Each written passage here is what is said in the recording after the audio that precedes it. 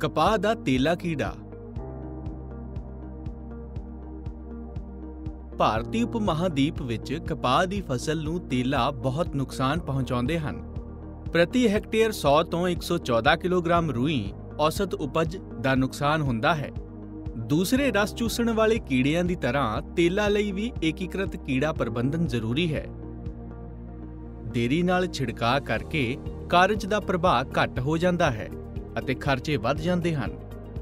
ਅਤੇ ਫਸਲ ਨੂੰ ਨੁਕਸਾਨ ਤੋਂ ਬਚਾਉਣ ਵਿੱਚ ਅਸੀਂ ਅਸਫਲ ਹੋ ਜਾਂਦੇ ਹਾਂ। ਛੋਟੇ, ਸ਼ੁਰੂਆਤੀ ਅਵਸਥਾ ਵਿੱਚ ਤੇਲਾ ਹਲਕੇ ਹਰੇ, ਪਾਰਦਰਸ਼ੀ ਅਤੇ ਬਿਨਾਂ ਖੰਭਾਂ ਵਾਲੇ ਹੁੰਦੇ ਹਨ ਅਤੇ ਉਹ ਪੱਤਿਆਂ ਦੀਆਂ ਨਸਾਂ ਦੇ ਵਿੱਚ ਅਤੇ ਪੱਤਿਆਂ ਦੀ ਹੇਠਲੀ ਸਤ੍ਹਾ ਤੇ ਪਾਏ ਜਾਂਦੇ ਹਨ। ਪਰਪੱਕ ਕੀੜੇ ਹਰੇ ਅਤੇ ਪੱਚਰ ਦੇ ਆਕਾਰ ਦੇ ਹੁੰਦੇ ਹਨ। ਇਹਨਾਂ ਦੇ ਨੁਕਸਾਨ ਦੀ ਵਜ੍ਹਾ ਨਾਲ ਨਵੇਂ ਨਰਮ ਪੱਤੇ ਪੀਲੇ ਹੋ ਜਾਂਦੇ ਹਨ। ਪੱਤਿਆਂ ਦੇ ਕਿਨਾਰੇ ਹੇਠਾਂ ਵੱਲ ਮੁੜਨ ਲੱਗਦੇ ਹਨ ਅਤੇ ਲਾਲੀ ਆਉਣ ਲੱਗਦੀ ਹੈ। ਗੰਭੀਰ ਸੰਕਰਮਣ ਦੀ ਸਥਿਤੀ ਵਿੱਚ ਪੱਤਿਆਂ ਦਾ ਰੰਗ ਪਿੱਤਲ ਵਰਗਾ ਜਾਂ ਇੱਟ ਵਰਗਾ ਲਾਲ ਹੋ ਜਾਂਦਾ ਹੈ। ਇਹ ਸਭ ਤੋਂ ਜਾਣਿਆ ਪਛਾਣਿਆ ਹਾਪਰ ਬਰਨ ਦਾ ਲੱਛਣ ਹੈ। ਪੱਤਿਆਂ ਦੇ ਕਿਨਾਰੇ ਟੁੱਟ ਜਾਂਦੇ ਹਨ ਅਤੇ ਮਲਣ ਤੇ ਚੂਰ ਹੋ ਜਾਂਦੇ ਹਨ। ਪੱਤੇ ਸੁੱਕ ਜਾਂਦੇ ਹਨ ਅਤੇ ਝੜ ਜਾਂਦੇ ਹਨ, ਜਿਸ ਕਰਕੇ ਫਸਲ ਦਾ ਵਿਕਾਸ ਰੁਕ ਜਾਂਦਾ ਹੈ। ਆਰਥਿਕ ਨੁਕਸਾਨ ਪੱਧਰ ਹੋ ਜਾਂਦਾ ਹੈ ਜਦੋਂ ਹਰੇਕ ਪੱਤੇ ਤੇ ਦੋ ਤੋਂ ਵੱਧ ਤੇਲਾ ਹੁੰਦੇ ਹਨ ਅਤੇ ਬੂਟਿਆਂ ਦੇ ਹੇਠਲੇ ਹਿੱਸੇ ਵਿੱਚ ਪੱਤਿਆਂ ਤੇ ਝੁਰੜੀਆਂ ਪੈ ਜਾਂਦੀਆਂ ਹਨ ਅਤੇ ਉਹ ਮੁੜਨ ਲੱਗਦੇ ਹਨ।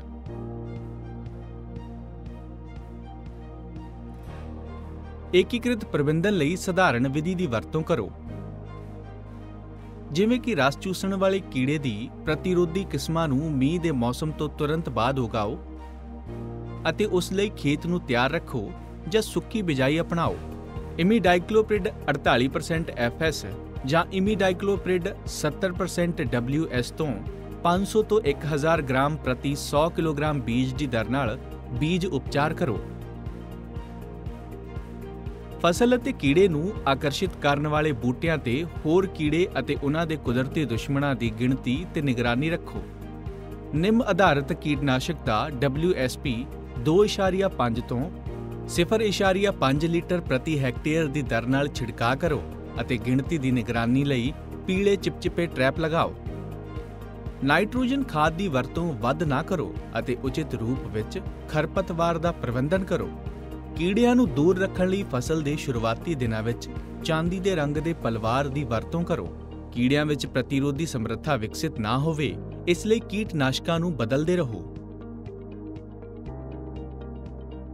ਜੈਵਿਕ ਨਿਯੰਤਰਣ ਲਈ ਕ੍ਰਾਈਸੋਪਰਲਾ 10000 ਪ੍ਰਤੀ ਹੈਕਟੇਅਰ ਦੀ ਦਰ ਨਾਲ ਛੱਡੋ। ਹਰੇਕ ਗਰਭ ਤੇਲਾ ਦੇ 288 ਨਿੰਫ ਜਾਂ ਬੱਚੇ ਖਾ ਜਾਂਦਾ ਹੈ।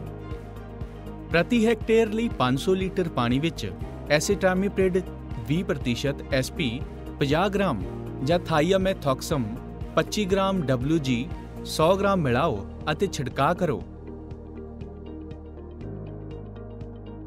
ਇਸ ਲਈ ਕਿਸਾਨ ਭਰਾਵੋ ਤੇਲਾ ਦੇ ਨਿਯੰਤਰਣ ਲਈ ਇਹਨਾਂ ਪ੍ਰਭਾਵਸ਼ਾਲੀ ਤਕਨੀਕਾਂ ਦੀ ਵਰਤੋਂ ਕਰੋ ਅਤੇ ਸਿਹਤਮੰਦ ਅਤੇ ਲਾਭਦਾਇਕ ਕਪਾਹ ਦੀ ਫਸਲ ਉਗਾਓ। ਅਜਿਹੀ ਹੋਰ ਜਾਣਕਾਰੀ ਪ੍ਰਾਪਤ ਕਰਨ ਲਈ ਸਾਡੀ ਕ੍ਰਿਸ਼ੀ ਸਾਇੰਸ ਸੀਰੀਜ਼ ਨਾਲ ਜੁੜੇ ਰਹੋ।